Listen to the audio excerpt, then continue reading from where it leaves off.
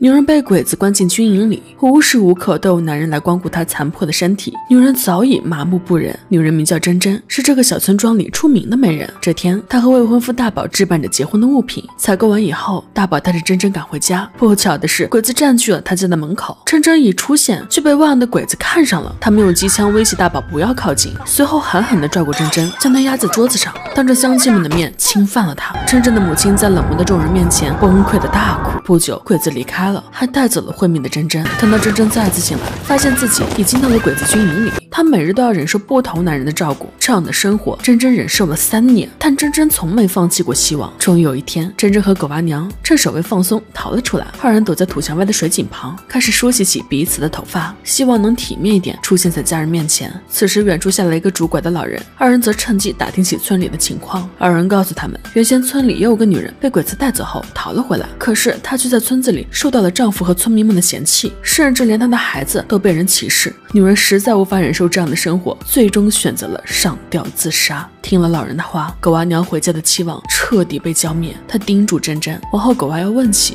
就说她死在了鬼子的军营里。说罢，珍珍一个转身的功夫，狗娃娘就投井自尽了，只留下了送给狗娃结婚用的戒指在水井边。珍珍只好戴上戒指，替狗娃娘完成最后的心愿。珍珍回到村子里，发现大宝早就结婚了，而她的母亲也在珍珍被掳走。后跟随着一场大火离世了。珍珍准备了一根绳索，也想跟随母亲而去。转眼间，她看到狗娃娘的戒指和狗娃娘临终前的叮嘱，最终他选择继续活下去。珍珍就在土地庙找到了熟睡的狗娃，她默默的在一旁等待着他醒来。狗娃醒来后，珍珍将狗娃娘的话告诉给了他。他把戒指给了狗娃后就要离开，可狗娃紧紧的跟在他身后说饿。珍珍很是心疼，便去了土匪窑给狗娃偷东西吃。谁知他们却被土匪捉了个正着。面对凶恶的土匪，珍珍将狗娃紧紧的。护在身后，大声向土匪头子四爷喊道：“只要不上炕。”干啥都行。珍珍这话一出，四爷让手下拿了支枪给了他。珍珍哪里碰过枪，他只好忍着恐惧，拿起枪冲着天开了一声。狗娃子被这声枪响吓得哇哇大哭。四爷呵斥住了狗娃后，又让珍珍去给他烧洗脚水。珍珍将水烧好后，四爷又逼迫他给自己洗脚。人在屋檐下，不得不低头。纵使是珍珍百般委屈，可她不得不按照四爷所说的做。女人被迫给男人洗脚不说，男人还用他的脚不断摩挲女人的脸庞。下秒，女人直接被男人的举动恶心的吐了出来。珍珍吐了四爷。一审，他毫不留情地将珍珍赶了出去，珍珍只好在屋外不断的呕吐，这是他在日本军营里留下的后遗症。此后，珍珍和狗娃便留在了土匪窝里，而珍珍也成了他们那里的厨师，每天服侍他们吃饭。这天，土匪们吃完饭后就带着枪下了山，珍珍便和狗娃一起将土匪们的衣服洗得干干净净，又将脏乱的土匪窝打扫得一尘不染。等到四爷带着兄弟们回来后，发现自己那小破寨子居然冒着炊烟，他们急忙赶了回去，看着被珍珍收拾得干干净净的寨子，一时之间都对珍珍刮。刮目相看，四爷告诉珍珍，他决定收下狗娃，然后给他展示了今天的战果。他们斩杀了六个鬼子。珍珍得知四爷他们下山是在杀鬼子后，看起活来更加带劲儿了。可鬼子留给他的梦魇是挥之不去的。他时常回忆起自己在军营里被侵犯的日子，精神恍惚的珍珍竟一边尖叫着，一边拿起火把四处挥舞。四爷以为他是犯了癔症，便上前将他打晕在地。等到珍珍再次醒后，已经是几天后了。狗娃给他端了药喝，狗娃说这是四爷特意为他下山讨来的。珍珍第一。一次体会到这个粗鲁壮汉的柔情，四爷看到珍珍醒来，便将短刀递给他，让他在木头上刻三道痕。珍珍知道，今天四爷他们这是又杀了三个鬼子。珍珍拿起短刀，用尽全身力气，恨不得将这三年的屈辱一起刻进这木头里。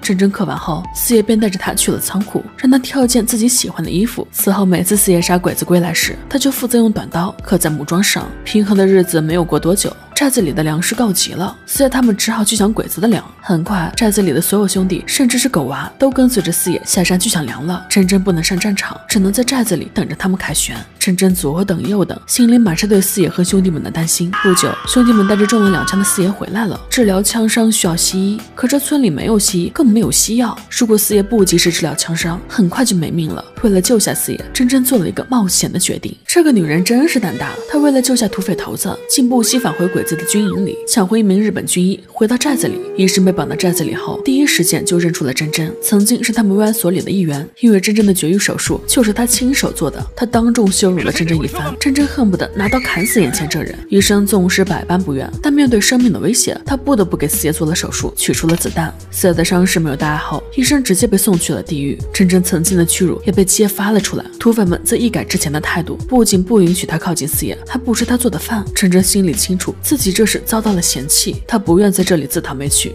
于是他选择离开寨子。他没有人可以依靠，也没有家可以回，他只能独自一人在草地里漫无目的的前进。真真看着遍地变成森森白骨的尸体，眼里尽是落寞。突然，他一个不注意跌倒在地，膝盖都流出了鲜血。幸好一个商人路过，贴心的帮他处理了伤口。陈真以为自己又有生活下去的希望，可是商人却希望真真能够给他生下孩子。真真早已在军营中被做了绝育，哪里能满足商人的愿望？真真毫无保留的将自己在军营中遭遇的事告诉了商人，商人毫不留情的离开了。而这一切都在真真的意料之中。他不明白，明明受到伤害的是自己，为什么所有人都在厌恶他？真真再次踏上漫无目的的路途，对生活彻底绝望的他蹲在地上崩溃大哭起来。这时，四爷骑着马出现在了真真的身后。原来，四爷从昏迷中苏醒，发现真真没有招待在身旁，顿时勃然大怒。他不顾兄弟们的阻拦，带着伤骑马赶了出来，找到了痛苦的真真。此时，硬汉如四爷也感到了心疼，他直接对真真说：“以后你就是我的人了。”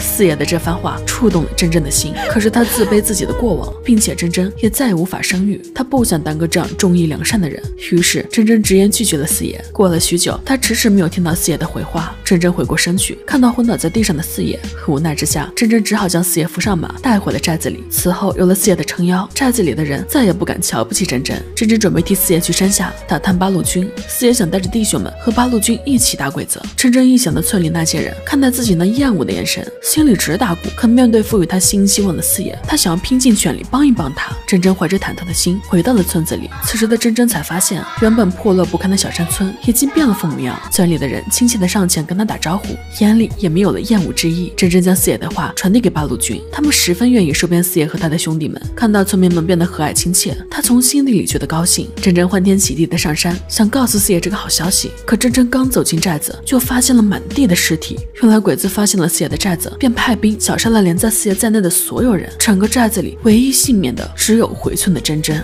唯一的希望就这这样被鬼子再次磨灭。真真不再选择忍受，她穿上了四爷送给她的衣服和首饰，将自己打扮得漂漂亮亮。她头也不回地冲进了鬼子的军营中。很快，军营里的鬼子就如同苍蝇一样，将真真团团围住。真真掀开怀里的布，引爆了炸弹。一声巨响过后，真真和那群鬼子同归于尽。偏见和愚昧才是侵略者最大的帮凶，尊重和理解。才是最好的安慰。好了，以上就是今天电影的全部内容。不管你来或不来，娜娜每天都会为你守候。